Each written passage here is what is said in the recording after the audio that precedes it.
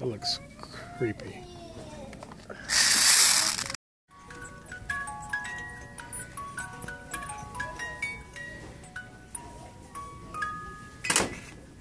Dad!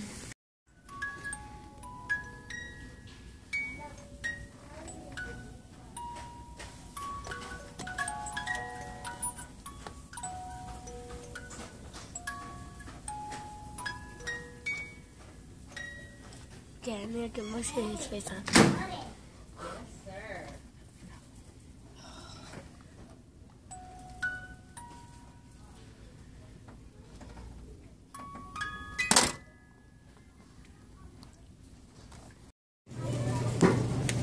What is it? Thank you, Sampling, with us today. Here, go show what it is. Go show what it is. What is it? It's all of that mixed together? Yes, sir. Okay. We do half a cup of the salsa, and everything else you just pour straight out of the can in the skillet. Don't drain your beans.